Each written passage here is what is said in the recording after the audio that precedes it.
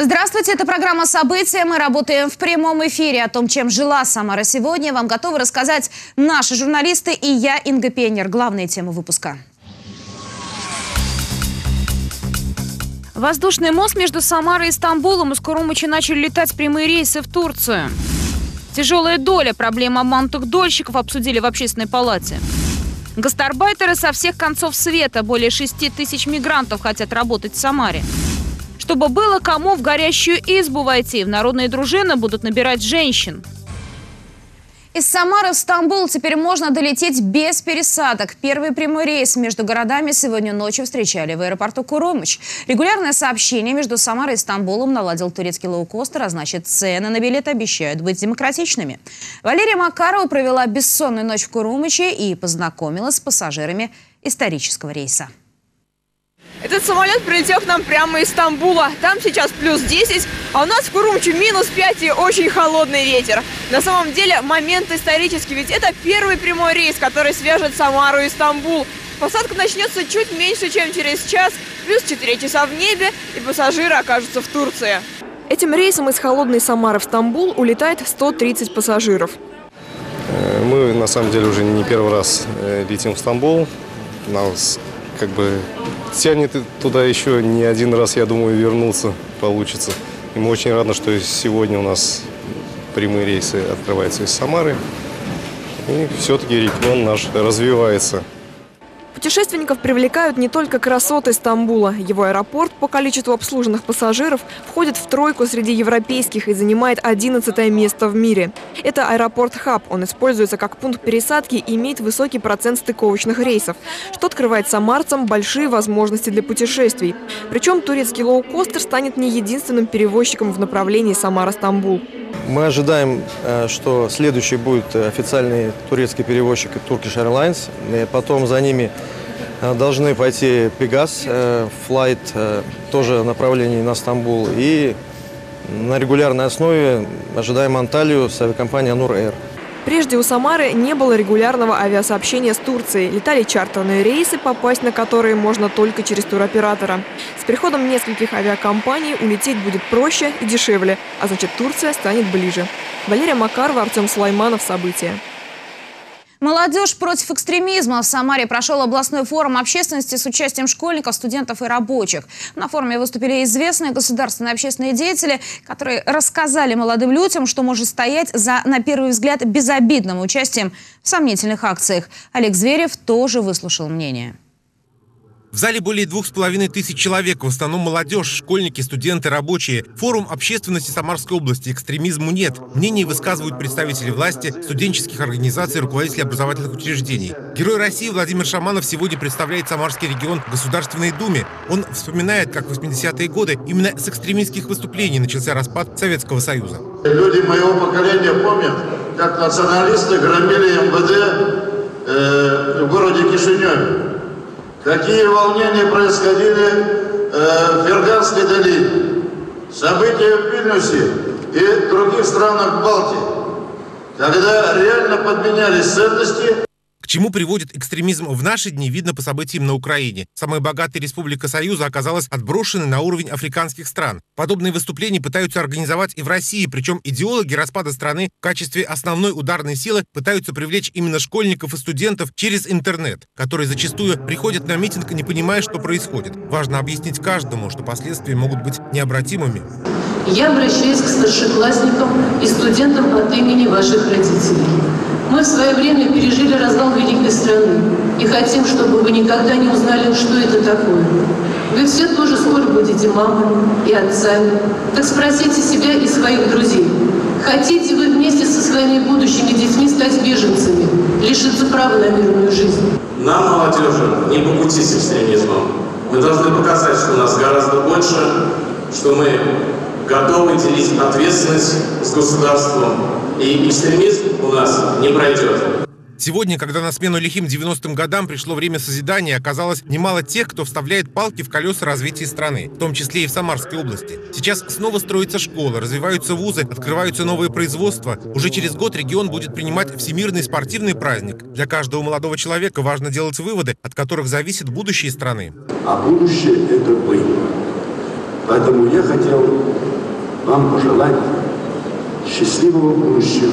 Но оно может быть только тогда, когда мы будем думать, когда мы не на эмоциях, не эмоциями будем руководствоваться, а когда мы будем руководствоваться трезвым умом, глубоким анализом.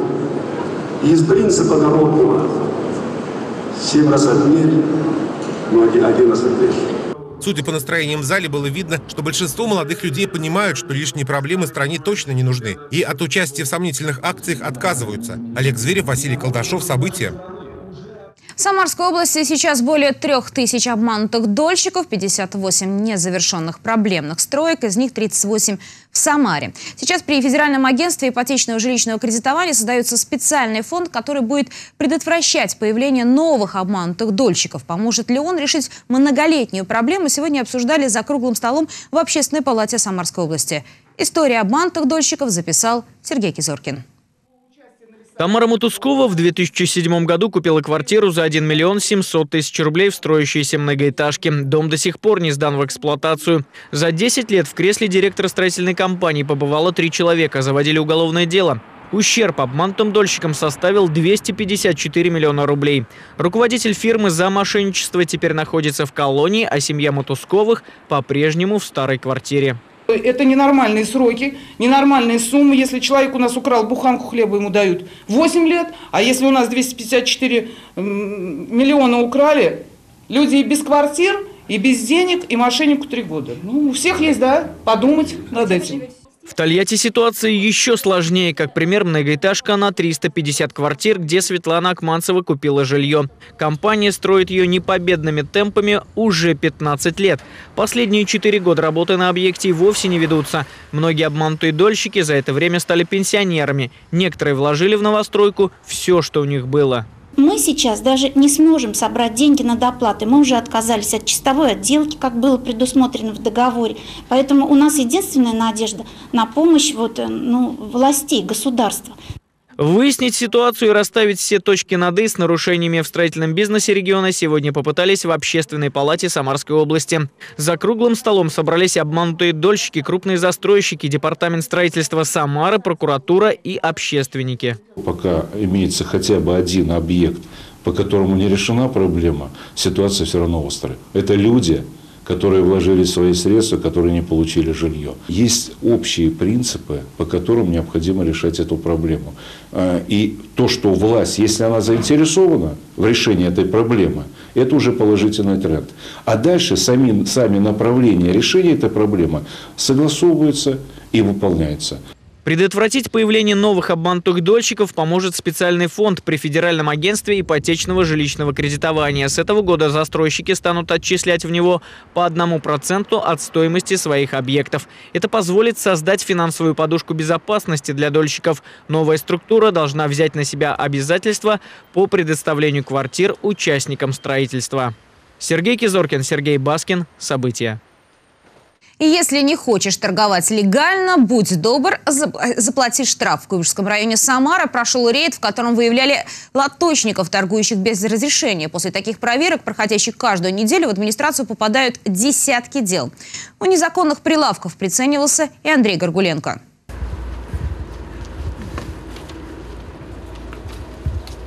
Увидев камеру и полицейских, продавщица бросает товар и прячется за машиной. Однако от штрафа уже не убежать. Следуя ее примеру, скрыться пытаются и другие продавцы. За собой оставляют палатки с товаром, в спешке закрывают багажники своих торговых точек.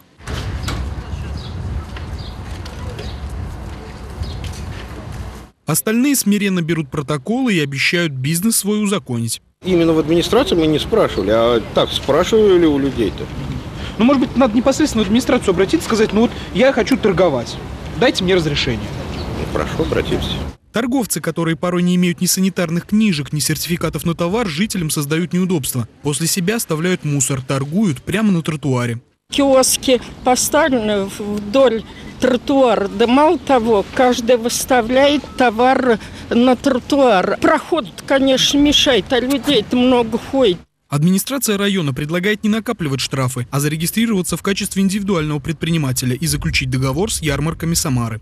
Нужно становиться либо индивидуальными предпринимателями, либо юридическими лицами. Только в этом случае можно торговать. Ну и, соответственно, торговать нужно, э, соблюдая все правила, имея санитарную книжку, имея сертификаты на, на продукты, которыми они торгуют. Во время каждого рейда выписываются десятки штрафов от полутора до четырех тысяч рублей. Дела всех пойманных нарушителей рассмотрит районная административная комиссия. Андрей Горгуленко, Григорий Пешаков. События. Для уборки Самары городские власти закупят дополнительную технику на 100 миллионов рублей. Когда машина поступит в распоряжение коммунальщиков, знает наш экономический обозреватель Лариса Шалафаст.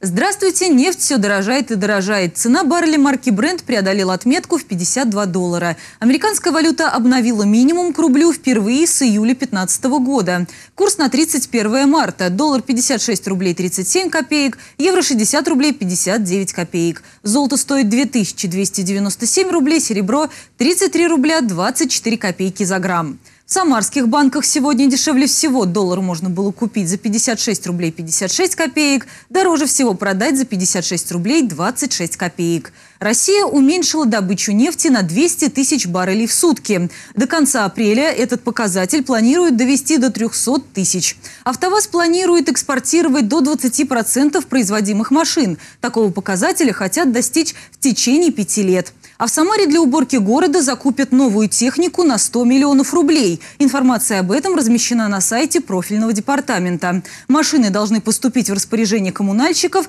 в начале июня. На этом все. Удачи в делах.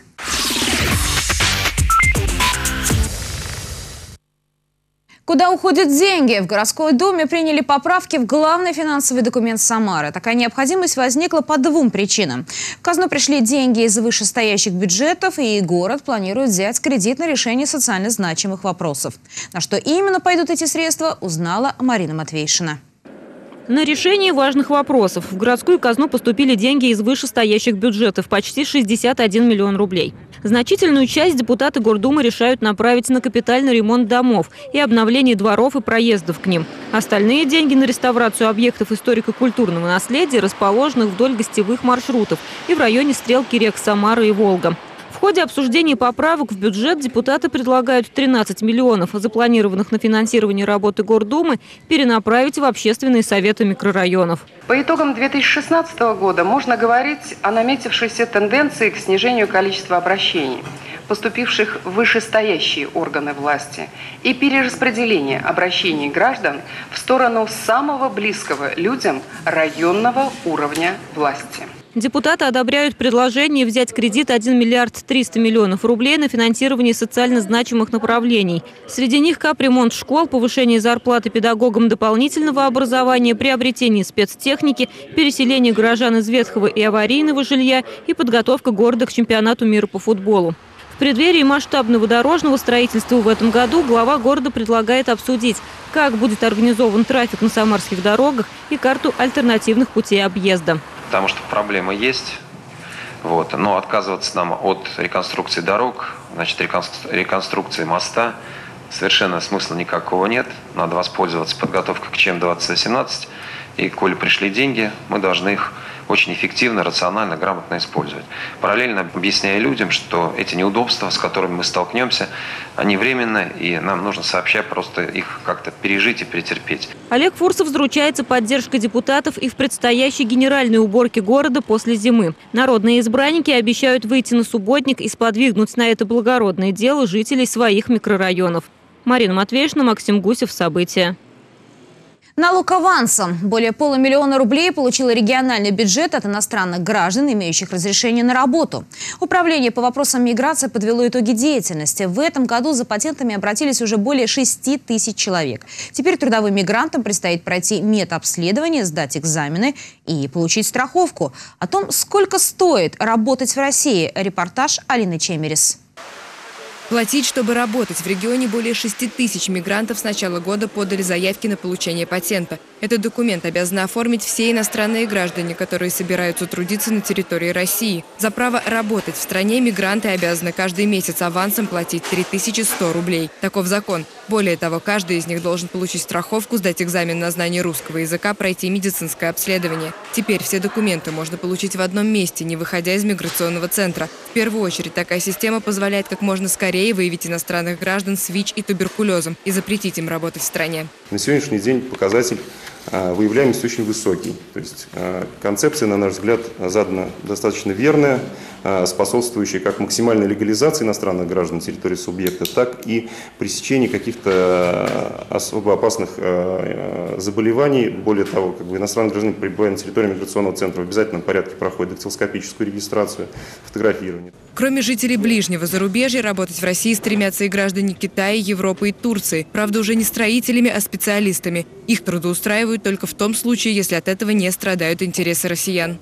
И квоты в том числе распределяются таким образом, чтобы приоритет в распределении подобных профессий относился к категории э, граждан России. Это является обязательным условием. Из всех иностранных граждан, которые сейчас находятся в Самарской области, трудовых мигрантов больше половины. Ежегодно их количество варьируется от 80 до 110 тысяч человек. Но пока мигранты заняты оформлением документов, чтобы работать в России, жители региона делают загранпаспорта. За три месяца их получили уже около 8 тысяч человек. Это в два раза больше, чем за тот же период 2016 -го. Но с потоком желающих выехать за рубеж миграционное ведомство справляется легко. Наше управление готово обработать все это, готово оказать всем эту услугу. А, очередей мы каких-либо по этому поводу не прогнозируем. Мы увеличили количество окон приема и сделали акцент на портал госуслуг обращения в электронном виде – а, то есть все у нас как бы мы к этому моменту готовы. Сотрудники миграционного ведомства призывают жителей активнее пользоваться онлайн-сервисами. Из 180 тысяч услуг, которые были оказаны в этом году, через федеральный портал оформлены только 4%. Алина Чемерис, Артем Сулайманов. События. Далее коротко о других событиях дня. В Самаре грузовой поезд насмерть сбил женщину. Трагедия произошла в ночь на четверг на 1117 километре железной дороги в районе Зубчининовки на перегоне Смышляевка-Безымянка. По предварительной версии, погибшая переходила пути в неположенном месте. Сейчас транспортная полиция проводит проверку.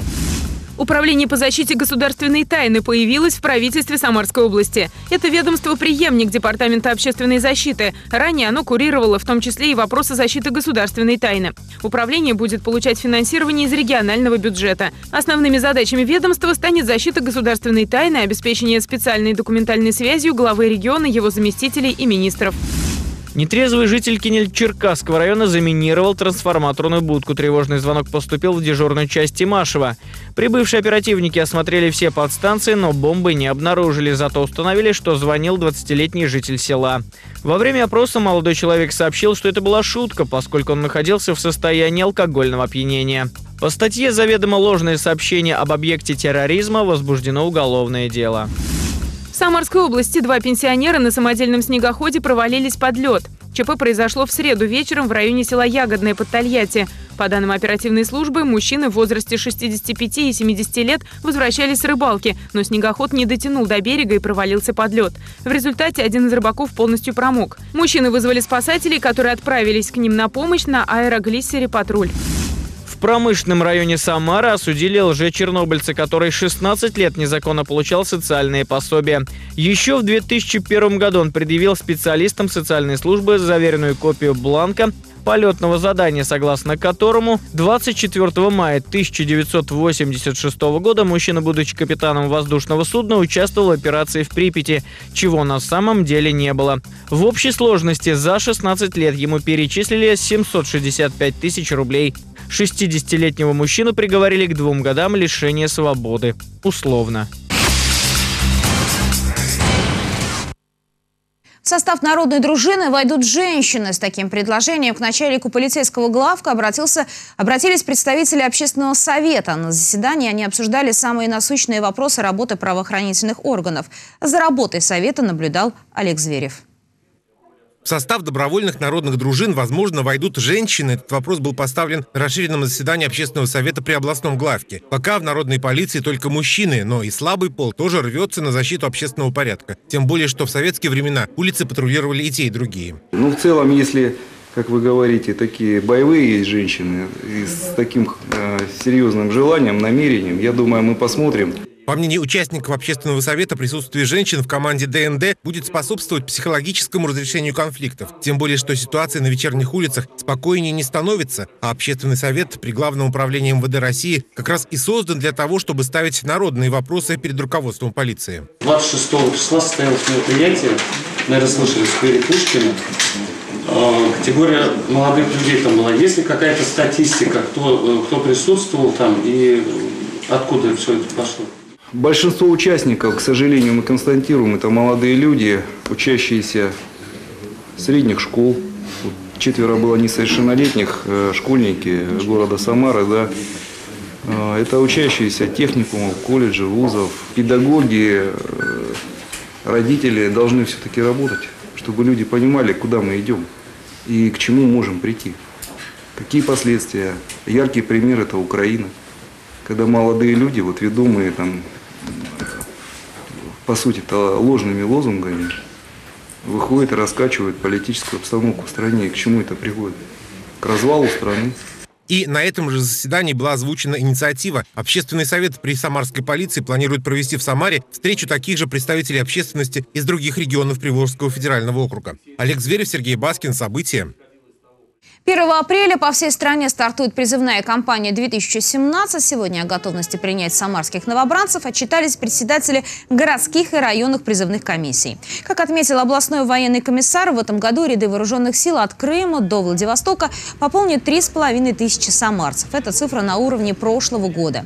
Генерал-майор Александр Даньшин напомнил об особых условиях призыва действующих и бывших студентов. Эти правила появились еще во время прошлогодней призывной кампании. Если раньше 20-летних юношей, которые проходили, обучались в технику, мы призывали, то сейчас принято решение, а им дается возможность учиться. Кроме э, всего прочего, всем э, призывникам с высшим образованием на призывных комиссиях будет предоставлено э, право выбирать либо год проходить службу по призыву, либо два по контракту. Самарские дзюдоисты добились успеха на первенстве страны. Мужчины положили в копилку сборной две медали. Новости спорта с Сергеем Кизоркиным продолжит эфир. Здравствуйте, я Сергей Кизоркин, и значит вы смотрите «Самарские новости спорта». В Самаре пройдут соревнования по черлидингу. Футбольная весна стартовала в Самаре. Самарский дзюдоист завоевал золото на первенстве страны. Самарские дзюдоисты принесли сборной региона две медали на первенстве России. В Кемерово удача улыбнулась Арману Адамяну. В весовой категории 100 килограммов он стал чемпионом. В финале спортсмен поборол соперника из Алании Сослана Икоева. Другой самарский дзюдоист Армен Тавмасян в категории до 90 килограммов занял третье место. В малом финале он был сильнее Ильдара Аллахвердиева из Тюмени. Новый городской турнир «Футбольная весна» стартовал на стадионе «Металлург». На тренировочном поле за призыв в мастерстве соревнуются десятилетние спортсмены. Какие команды победят, Акрон, Виктория, Самара, 9 школа Олимпийского резерва или Центр подготовки футболистов, станет известно в пятницу. Организовал футбольную весну в Самаре нападающий крыльев Советов Сергей Корнеленко. Группы поддержки спортивных команд определят лучших на открытом первенстве и чемпионате Самарской области. Турнир пройдет в Грации в субботу. Первые поединки намечены на 13.00. В соревнованиях примут участие более 50 физкультурных коллективов. Черлидинг – самостоятельный вид спорта, который сочетает в себе элементы шоу, танцев, акробатики и гимнастики. Это были новости спорта от Сергея Кизоркина. Будьте здоровы и занимайтесь физкультурой.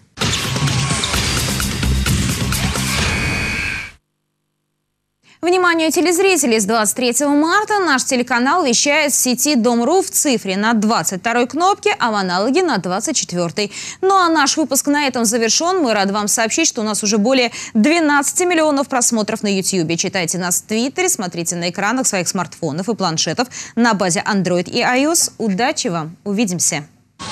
Thank you